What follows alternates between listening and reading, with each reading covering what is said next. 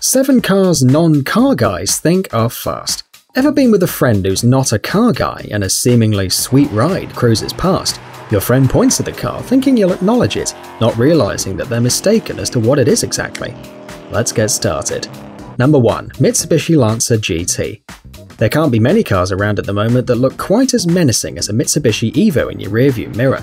Its permanently angry expression screams get out the way on the freeway, and with a blistering 0 to 60 time of 4.4 seconds, you'd be mad not to respect it.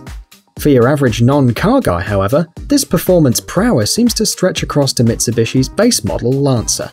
Embarrassingly, the Lancer fools a lot of people despite having a hilariously boring 0 to 60 time of 11.4 seconds for the base model.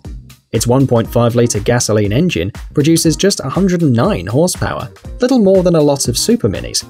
Some models offer a larger 2.4 litre four cylinder with 168 horsepower, but a lot of these vehicles came fitted with a CVT gearbox, hardly a recipe for speed.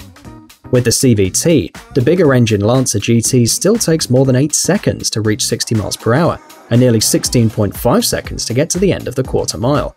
Whilst the manual transmission will add some fun to the driving experience, I can't help but think the aggressive looks don't match the mediocre performance. Number 2. Toyota Celica You might think that being in the 7th generation, the Toyota Celica would have become a rapid sports coupe. Its sporty looks and aggressive styling often fool the non-car guy into thinking it's a car not to be messed with. Not exactly the case. The 1.8 litre engine is available in two forms, one with 189 horsepower, which is admittedly brisk, and less so the 140 horsepower version.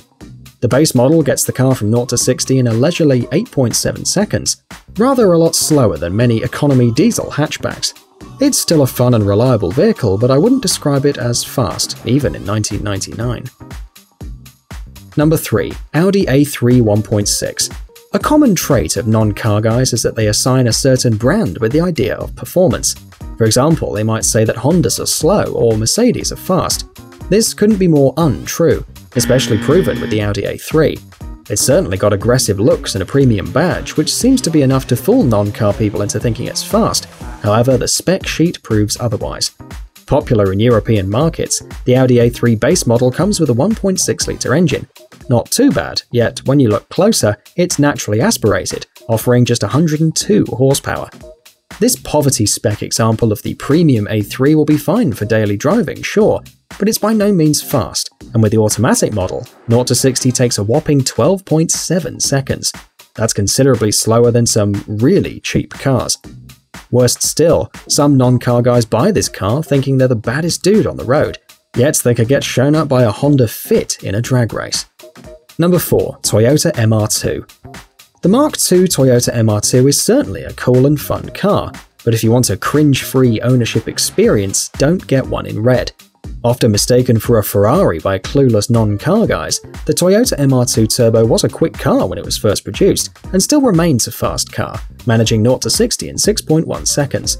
Unfortunately, the turbo models made up only a small minority of sales, with naturally aspirated cars outselling them completely. The NA model is fairly brisk, getting to 60 in 8.4 seconds, but it hardly matches the sporting exterior. Even more clued up non-car fans who can read a badge will likely presume that this is some rapid sports car, yet with just 135 horsepower, it really isn't.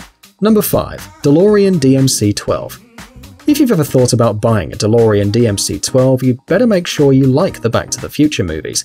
Despite its outlandish looks, the DeLorean DMC-12 only produces 130 horsepower from its 2.8-litre V6 engine.